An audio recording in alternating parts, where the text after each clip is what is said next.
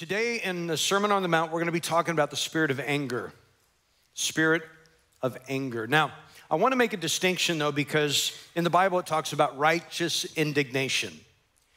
This is not righteous indignation because righteous indignation is when you're upset about things that God is upset about, but you don't stew and you don't handle it the wrong way. Matter of fact, it empowers you to do the right thing for God's behalf. That's righteous indignation. This is not what, what we're dealing with, what Jesus is talking about in a spirit of anger here. So, Matthew 5 21, he said, and he, he's referring to the Old Testament and he's referring to the Ten Commandments. He says, You've heard that our ancestors were told you must not murder. If you commit murder, you are subject to justice, a judgment. But I say, if you're even angry with somebody, you're subject to judgment. If you call someone an idiot, you are in danger of being brought before the court. And if you curse someone, you are in danger of fires of hell.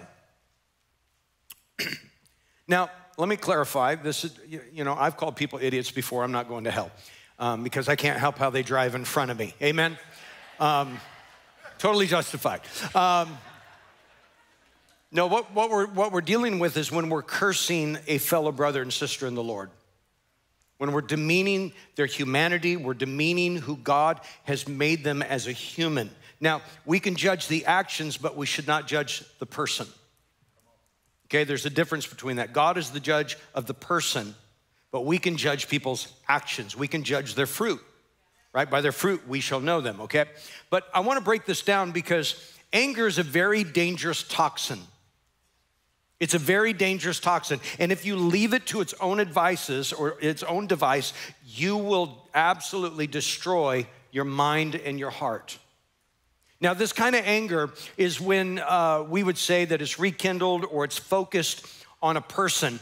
And, and so when your anger dies down, then you start thinking about it again. And if you've ever seen a fire that kind of burns down and just the coals are there, but if, if you break it up and throw some more kindling on it, it it bursts into flames again. And this is what is happening in some people's lives in a spirit of anger because they get calm and then they start ruminating on it, nursing it and rehearsing it over in their mind, and then they get angry again. You can be looking at somebody, they're not even doing anything, just sitting there, and they'll get flushed in the face and their, their, their composure will change. And it's because they're, they're rehearsing and they're reigniting that flame of anger inside of them, okay? Now, Anger is the seed to murder, it is the pathway to murder. You cannot physically murder someone until you murder them in your heart. You cannot physically commit murder until you've committed murder in your heart. You've walked it out in your heart. And this is the way the pathway starts.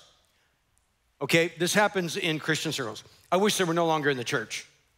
I can't stand that person. I wish they were no longer in the church. Then it goes, I wish they were no longer in the city.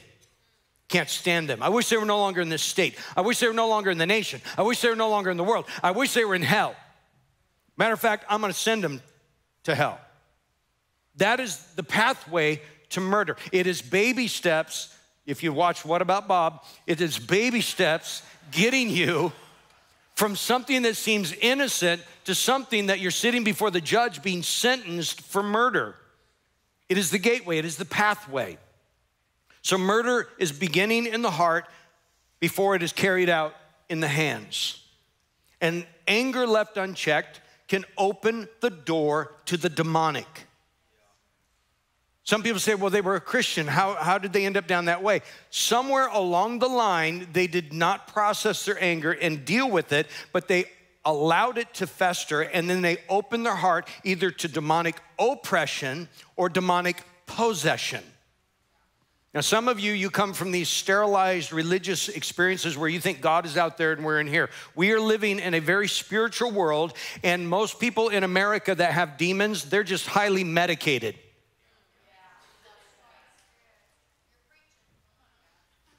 Some of you were married to one of those. Okay. So, oh, too real? Okay. Anger, remember, left unchecked, opens the door to the demonic. 1 Samuel 8 6 this is talking about Saul. He was the king. And what happened was he messed up, he disobeyed God, and then God now anointed David to replace him. But now Saul is still the king, okay? And, and David is getting some victories in battles because he just had killed Goliath. Okay? So it says this it says, when the victorious Israelite army was returning home after David had killed the Philistine, women from all the towns of Israel came out to meet King Saul. They sang and danced for joy with tambourines and cymbals. This was their song Saul has killed thousands and David has killed tens of thousands. Okay? So they're giving credit to Saul, but they're really giving credit to David. And it says, This made Saul very what? Angry. Come on, say it again. Angry. What's this? They credit David with tens, uh, ten thousands, and me with only thousands. Next, they'll be making him their king. So from that time on, Saul kept a jealous eye on David. Jealousy is the seed or the gateway to anger. So check this out. He has opened his heart to the spirit of anger. He's not dealing with it because of his jealousy. And we go from this verse right to the next verse. Here's the next verse. Watch what happens in 1 Samuel 18:10. The very next day, a tormenting spirit from God overwhelms Saul. Now, let me, let me explain this because the Old Testament writes things in a certain perspective. God did not send a demonic spirit to, tor- to torment Saul. God, this means that God pulled back because of Saul's decision and he couldn't protect him. And so, therefore, this demonic spirit had an open door because of Saul's decisions, and now he's being tormented. He's being oppressed by a demon spirit. A lot of people open doors that God is not going to intervene because he will not mess with your free will. Look, if you want to mess your life up, God's going to let you. He is not a puppeteer. He is not going to control you. You are not a robot. He gives you the decision to follow him or not follow him, to listen to him and to be led by the Spirit or to be led by the flesh. And so here we have it. He's tormented by this demonic spirit. And he began to rave in his house like a madman. Sounds like some of your relatives, right? Rave in his house like a madman. David was playing the harp and each day, but Saul had a spear in his hand and suddenly hurled it at David. What is it? Attempted murder. Of course, not for the king because he can do whatever he wants, but this is attempted murder in the eyes of God. How is he trying to murder him? Because he had an open door that opened a spirit pathway to demonic influence that tormented him, that caused him to do something that he would have never done before this day. So, how do we handle anger? How do we process anger biblically, spiritually? Do we just say, don't get angry? Everyone, don't get angry. That's not realistic because we're human. So it's not a matter of don't get angry, it's a matter of how do we handle it when we do get angry? How do we handle it? Because if you don't handle it right, the power of the subconscious becomes very powerful. Studies show, and, and Yale Scientific and, and, and Scholar Blogs, they've done some research in this, and they found the power of your subconscious. If you're watching, uh, let's say, a very horrific movie, something that, that, that's dealing with trauma, murder, rape, some kind of horrific experience, your subconscious, when you've watched it four times, your subconscious feels as though you've lived it. And here's the other problem because if you're watching a scene like that and you lean into it, then you suddenly open yourself up to become either the murderer or the one being murdered. And you see the event from that perspective in your subconscious. This is how powerful it is when you play your anger over and over. You rekindle your anger over and over and don't process it. You become very dangerous to that person. And this is why we cannot afford to have a short fuse. Some of you have a short fuse. Have you ever done firecrackers, M80s? You want to make sure you got a good fuse on that, right? Why? Boom, ow. You have one finger to wave with. And so many people in church only have a short fuse. But if you surrender your heart to the Lord, if you're reading the Word of God, allowing to be led by the Spirit, He will grow your fuse. But you know, so many, so many Christians are more like nitroglycerin. Nitroglycerin was a very powerful substance, but it was very volatile. And they were using it for mining, mining gold and things like that. And so you know, it's, it, it, was in a gel or a liquid format, and if, if there was too much vibration, it would just automatically explode. It would detonate, like some people you know. The, the, the, the, the most little effect has a devastating consequence. Oh my goodness, what happened? Boom, boom, boom, just detonated all the time. So then what they did was they added um, sawdust and wrapped it, and they called it dynamite at the time. Now it's a different substance. But then dynamite left setting too long begins to cause the nitroglycerin to pool at the bottom, and now it separates, and then it becomes very volatile again. Your, your anger left unabated too long, you will become very dangerous. I think we as Christians should be more like C4. C4 is like Play-Doh. It's like clay. Oh, this is fun. You can throw it, you can, you can hit it with a hammer, you can toss it off a building, you can do all kinds of things. You can make little bunnies and all kinds of shapes. But you know what? It won't be devastating unless you intentionally detonate it with a blasting cap. In other words, you're in control. Do you have power? Do you have the ability to do things? Yes, but you're in control on how you detonate. Now, Titus 1:7 talks about an elder or a leader in the church. And this is where I love so many, so many Christians in church. They sit there go, glad that's not me. Because, you know, if you're a leader, you have to do all that stuff up there. But I'm just a Christian. I'm not even a disciple. I'm just a Christian. I'm going to heaven. I'm just a Christian, not a disciple, and I'm certainly not a leader. Let me help you with this. If you're a Christian, you're a leader. Why? Leaders influence. If you're a parent, you're a leader. If you're a person and you have breath in your lungs, you're a leader. You influence other people. So you have this responsibility. So it says, you must live blameless, a blameless life. He must not be arrogant or quick tempered, short fused, volatile. You know, leaders that are very volatile, people don't like to be around them. If you're volatile, you're like wearing an S vest everywhere you go, a suicide vest. You're just like, boom and everybody around you is devastated. And so they don't want to, they, they want to stay out of your blast zone because they see you as a dangerous person. So we cannot be quick tempered, and it says you must not be a heavy drinker or violent. Look, when you are a leader, you have to be very careful that you keep your control and your composure. The moment that you become inebriated, I don't care what substance you're dealing with, the moment that you intoxicate yourself, you're opening yourself up and, and you're diminishing your capacity. Look, if you shouldn't drive a car, you shouldn't be a parent if you're inebriated. If you're drunk and you're around other people, you're dangerous. Look, a lot of people, when they get drunk, they, their, their vision is distorted. Ugly people look good.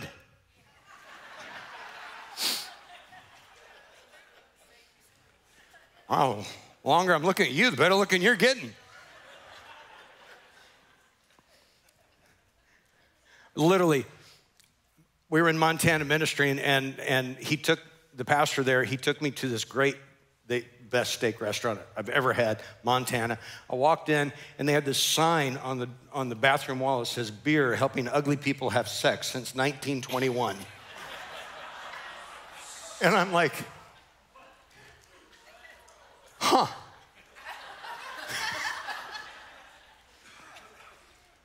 but see, if that is a reality, how much more should we be aware of our faculties to make sure that we're in check and we're in control of ourselves. When we're around our children, when we're around our family, when we're around some of the most precious possessions in our life. See, as a leader, you have to realize that you're the thermostat. I know as a leader, I can walk into the staff and I can change their temperature like that. If I'm mad, they'll get mad like that. Why? That's just the way it works. Because when you're a leader, you set the temperature of the room. You're the thermostat. Everybody around you the thermometer. And that's why we have to be so careful about our composure. Because the greatest challenge that we'll ever face is leading ourselves. You can't control other people's anger. You can't control other, you can't lengthen other people's fuse, but you can work on your own fuse. And that's why, you know, I want to look back at Moses. Moses, here's the guy that his first leadership interaction ended in murder. Okay? So he had an anger problem, he had a temper problem. Why? Because his first moment to interact as a leader, he sees an Egyptian beating a Hebrew slave, and what does he do? He takes him out and buries him in the sand. Well, I took care of that. No, he ran for his life. God's like, I need to get you out of here. You need to be with some sheep for a while. If you can't lead sheep, you can't lead people, okay? And so got him out there, and so now he, he does signs through God, you know, signs, wonders, and miracles are manifesting, and, and Pharaoh releases the children of Israel. They go through the Red Sea, and now they're in the desert, in the wilderness. God is bringing fire by night to keep them warm, and, and cloud by day to keep them cool. He's bringing manna, and, and now he wants to show the people, God wants to show the people that he's going to give them water from a rock. Another miracle. And so you have to understand you got 3 million plus women and children, 3 million men plus women and children, and livestock. That's a lot of water. That's probably a big rock. Amen? And so this is what God tells him to do in Numbers 20, verse 8. He says, You and Aaron must take the staff and assemble the entire community. And as the people watch, remember, as the people watch, you're on the stage, Moses, speak to the rock over there and it will pour out its water. You will provide enough water from from the rock to satisfy the whole community and their livestock. So he wasn't even supposed to go over the rock, he was just supposed to speak to the rock so that God would do a miracle. So Moses did as he was told. He took the staff from the place where it was kept before the Lord. Then he and Aaron summoned the people to come together and gather at the rock. Now he has an audience. But here's the problem he has been burning inside. He is so ticked off at these people.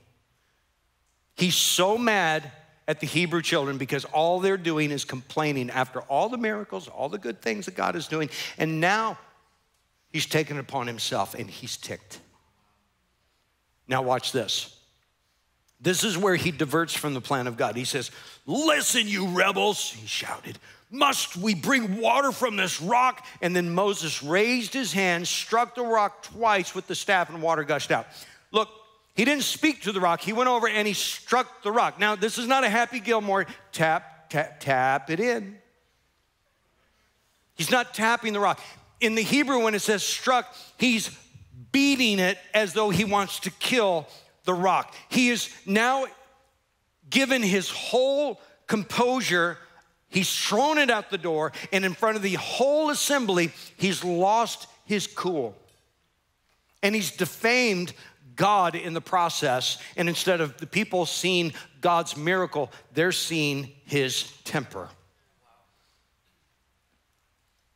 Anger tends to be displayed on a stage for other people to watch. I mean, some of you, when you were children, you probably, maybe some of you had abusive parents.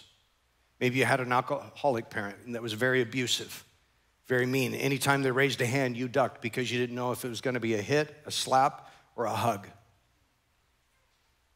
You witness that. Here's the problem with anger when we give in to anger, it causes us to lose perspective and it distorts the truth. The truth is, God wanted to do an amazing miracle, but his anger clouded the miracle. And it tends to blow things out of proportion. Then we forget our values. We forget about what's most important and we end up fighting for the wrong things. And instead of fighting for people, we fight with people. And God, as a leader, has called us to fight for relationships, not against them. And then we close our ears and we lose focus.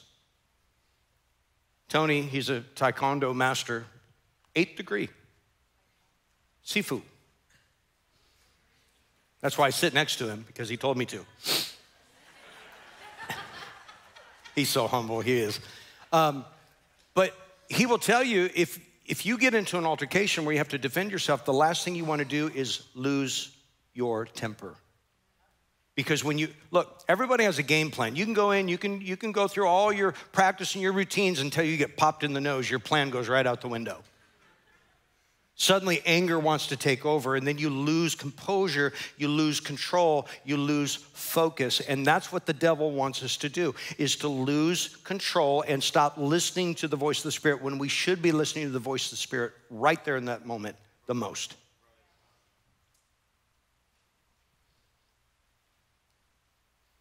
Now, what you got angry about, whatever got you angry, may not justify your anger. I've gotten angry over things that I had no justification to be angry over. It's because I had a short fuse. I didn't have enough sleep. I didn't this. I didn't that. But suddenly we think the whole world stinks around us. It's just us.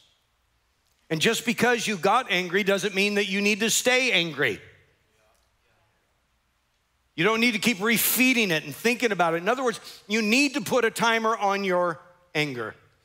You know, if your anger lasts longer than it takes to boil an egg, you're in trouble. Get an egg timer out, eight minutes, set it down, go, to, go into your bedroom, jump on your waterbed, splash around, punch your pillow, scream in your pillow, let it out in a safe place so that you don't hurt others that you shouldn't hurt. You got to put a timer on your anger. Psalm 37 8 says, Stop being angry.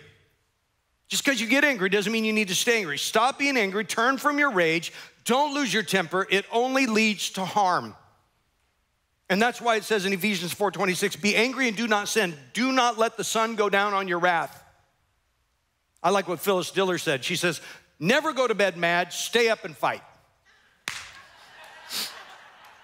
if you don't know who that is, she's got hair like my wife right there, Phyllis Diller.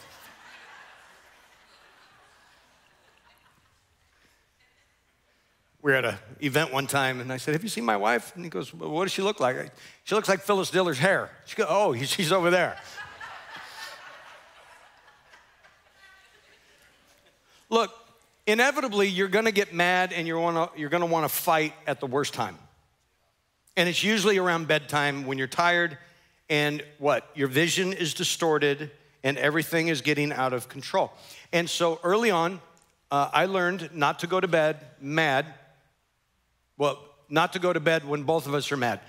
Because I went to bed when I thought I was over it and she wasn't. And she woke me up with a glass of water. It was exciting. Um, I learned a lot. So now I understand what to do. If you go to sleep, you get baptized. So now, now I just say, Are you good? I love you. Do you love me? Or am I gonna wake up in heaven? You know? So, so no, in, in reality, there's times that you just have to say, Hey, time out. Look, do you love me? I love you. We're not going anywhere. We know we need to work on this. So let's put it on the table, on, not on the nightstand, let's put it on the coffee table way downstairs. Let's go to sleep. Let's get some rest so we can get some better perspective, a little time over this, and then we'll go back and we'll talk about it and get a resolution on this. So many times we need to put a timer on it and we need to be able to, to, to make sure that we don't go to bed angry, we resolve it. And many times the resolve is we resolve to resolve it in the morning. And then you have to process your anger safely. Process your anger safely. Psalm 4:4 says, Don't sin by letting your anger control you. Think about it overnight and remain silent. You know, anytime that there's a suspicious package, they bring in the bomb squad, right? And I'm gonna blow my nose.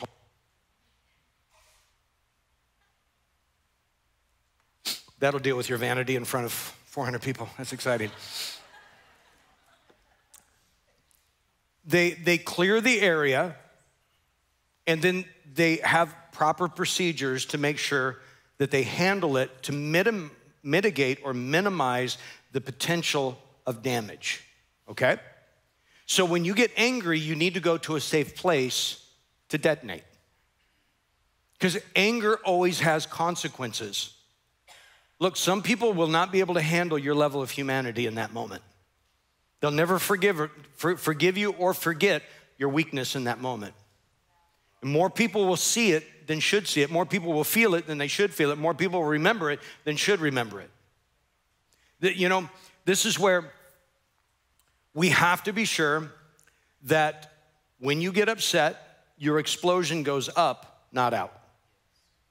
So, back in the early days of, of bomb squads and things, they would have a trailer that would come out, and basically it was just a, a tub that went up on the sides and there was no top on it. So that way they would put the device in that, and if it blew up, it blew up, not out. It was a controlled explosion to minimize the damage. Look, when you're going through something, you need to take your anger up. I was with a parent that lost a child, and I told him, I said, hey, if you're upset, be upset. If you're mad at God, go ahead, be mad at God. Tell him whatever you want. Why? Because God is God, He can handle it. He can handle your humanity. He can handle your weakness. He can handle whatever your emotion is because He loves you unconditionally. Just go ahead and let it out so that way you can gain some better perspective. So many times we, we, we try to muzzle people. Oh, don't say that. Don't say that about God. Don't say that. What are you doing? Well, you don't know how big God is.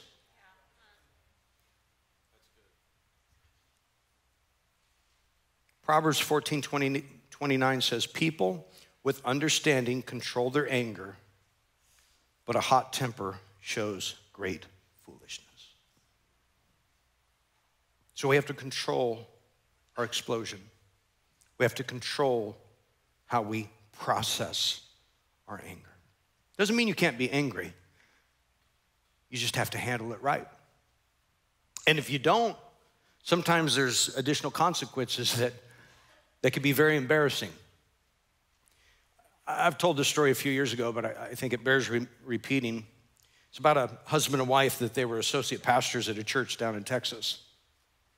And um, they, they kind of were not happy with each other that evening because they were talking about finances. You know, that's always fun talking about finances. And, and well, you're spending too much on the credit card and da da da, and they're going back and forth. And, and so it's kind of like a, a church event that night. And it's a formal event. So she's getting ready and she's got this really nice dress. She hadn't worn it before, it was brand new. And so they're, they're snarking at each other and snapping and bep, bep, bep, you know. And, and so she's got her dress on and, and she goes, do you think you can zip my dress up? Do you think you can at least do that? Well, yeah, I think I can. you know, and he grabs a zipper and he zips it up and then zip, zip, zip, zip. Now he's getting smart with it. Zip, zip, zip, zip, zip, and broke it. Yeah, that's what he said. now she's ticked. Oh, she's upset. This is her brand new dress. She hasn't been able to wear it. This is the only thing that she has ready to wear. Now, what are we going to do? I'm so mortified. You know, she's so upset. He's like, oh, there's no pass go, collect $200 tonight. And so he's just stressing. And so they have to get some pins and pin it together. And she's mortified. Now she has to wear this shawl that her grandmother made in Texas in the summer. So they get in the car, and of course, there's no conversation. It's just nice and quiet. All you hear is the AC. They're driving and she's mad and he's mad and oh, it's bad. They get out of the car and they walk in and suddenly they're church face. Oh, hello. Oh, you know, they're just putting on the show. They're so happy. They're so happy. And people walk up to her and say, Oh, what a beautiful dress. Oh, I love your shawl. Oh, yes, I just thought I'd honor my grandmother tonight and wear my grandmother's shawl. Isn't it so beautiful? I'm just so happy. Da, da, da. And now they're in the car and they're going home and she's mad and he's mad and it's not good. And no, collect $200, no passing go. He went straight to jail. So he wakes up in the morning to some noise and she's shuffling around and she's getting ready. And you know how sometimes, you know, there's getting ready and then there's getting ready loudly?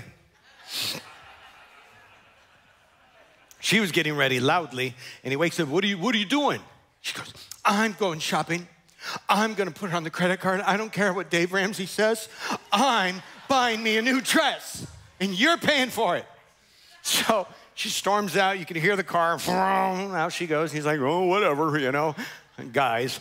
And so she goes shopping and she comes back and she drives in the driveway and her husband's under the car changing the oil and, and she looks at him and all she sees is just his torso sticking out, just the lower half of his torso. She's out, you know, and she walks up and she puts down her bags and he's, he's laying there on, you know, like this and, and she walks up grabs his zipper, zip, zip, zip, zip, zip, zip, zip, zip, zip, zip, zip, zip, zip. Grabs the bags, walks in the house, and her husband's sitting at the desk paying bills.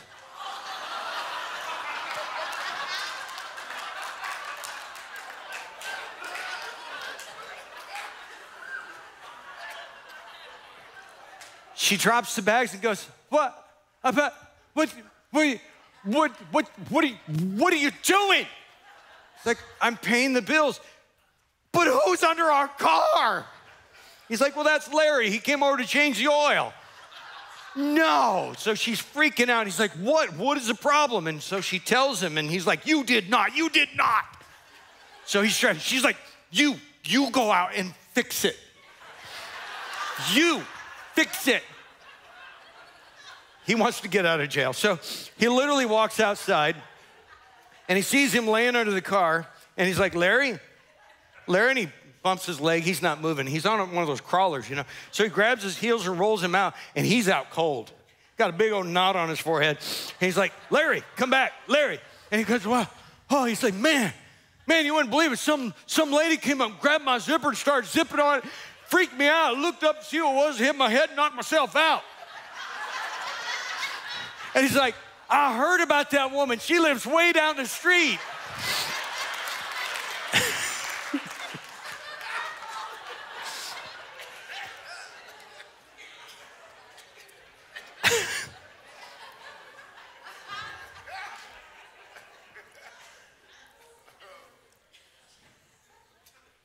It's funny, but anger left unchecked can have serious consequences. It can bring serious embarrassment, shame. It can create situations where you can't undo what you've done. You, once something explodes, you can't put it all back together. But I'm telling you, the Spirit of God will help guide you and direct you. If this is a proclivity in your, in your life, you need to stay in the Word of God and you need to read the Word of God. And as you read the Word of God and surrender your heart to the Word of God, you're gonna find that God begins to extend your fuse because you're giving Him something to work with. And then you're gonna look back maybe a year or two down the road and you're gonna go, wow, that just happened. And I would, I would have punched that person. Now I wanna pray for him. Wow, something something's different in my life. And it's because you did something different in your life. You put Jesus and His Word in you. The washing of the Word, the reprogramming of the Word of God renews your mind, changes the patterns.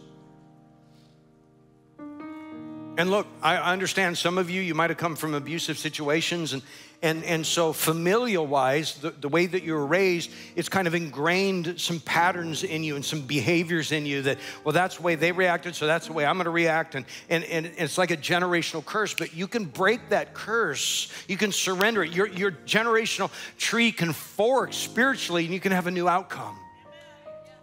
You don't have to be in despair. You don't have to go with what all the experts say that you're, you're hose the rest of your life. No, you can be a new creature in Christ Jesus. Old things passed away, everything is made new. So I challenge you today. This isn't about don't get angry. This is about when you do, know that you have a way to process it safely.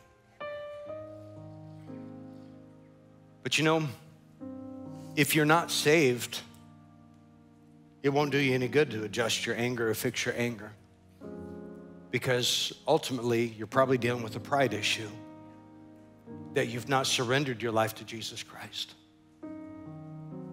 You know, I was thinking about the Titanic, the unsinkable ship. How, how many people in life feel like they're just unsinkable? I got this. This is my life. I'm in control. And yet, one moment happens and our life's out of control. The thing that really upsets me about that whole event wasn't just necessarily the unpreparedness, the lack of training, the lack of lifeboats, and, and, and the arrogance of the, the manufacturers and the designers and all of that. It was also the people that were in charge on the ship. Because they just let people go on the ship, just believing a lie that everything's okay. Yeah, we hit a we hit something, but we're okay. And everybody's just, they're on the deck and they've got their beautiful stoles on and their coats and they, they, hear the music playing. Meanwhile, they're just gonna be minutes away from living the rest of their life in that frigid water before they die. Because they, they just didn't wanna panic people. How many people have gone to religious services year after year. They, they were sprinkled as a child, they went through special classes to be confirmed, but yet it has nothing to do with what the Word of God says. The wages of sin is death, but the gift of God is eternal life. He didn't come to give you a little life preserver. He come to put you on his ship that is unsinkable. See, Romans 10 9 and 10 says, If you will confess with your mouth what you believe in your heart that Jesus is your Lord, you will be saved. So I, I don't care if you check mark a little box on a card at church and said, I wanted Jesus today. Is it in here? Did it change you? Religion doesn't help anybody. It's just man's barrier to keep you from God. But Jesus came to give you life. He's given his own life. So today, this is what we're going to do. If you want to be born again or you need to surrender your life to God, maybe you've been on the wrong ship too long and you want to come home, you want to surrender your life to Jesus. Bow your heads with me, close your eyes, and I'm going to count to three. One, two, three. Clap my hand. And if that's you, I want you to raise your hand. Here it is. One, two, raise it and hold it up. Three, if that's you. Yes, I see that hand. Yes, I see that hand. Yes, I see that hand. Yes, I see that hand. Who else? Who else? Anyone in the back? Yes, I see that hand. Anyone else? Yes, I see that hand. Yes, I see that hand. Yes, I see that hand. Now, I want to give you reality. I want to give you reality. Raising your hand doesn't save you. It says, I want to be saved. So let's be biblical about this. I think we should do what God says. This is what Jesus said. He said, If you acknowledge me before others, I will acknowledge you before my Father in heaven. If you deny me before others, I will deny you before my Father in heaven. I'm going to ask you to take a very bold and brave step.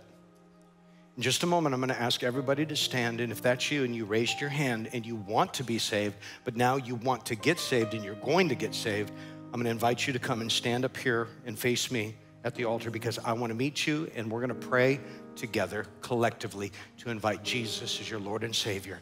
Now your heart should be beating out of your chest. This is the best decision of your life. Don't turn your back on God. You said, I want to get saved. Now let's get saved. Everybody stand. And if you raise your hand, I want you to come up here right now. Go ahead, come up here right now.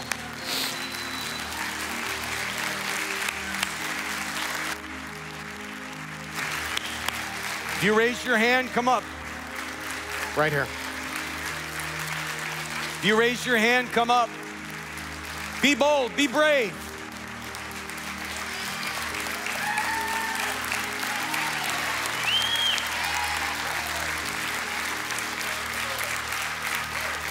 All right.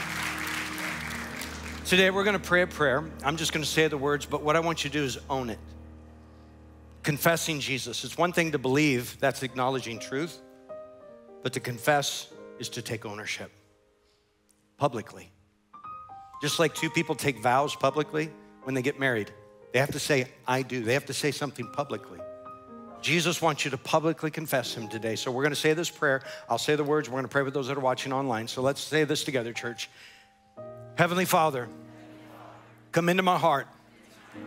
Be the Lord of my life. Forgive me of my sin. Today, I ask that your son Jesus will come into my heart and live in me. Forgive me of all my sins and live in me as I live for you in Jesus' name. And everyone said, Amen, amen.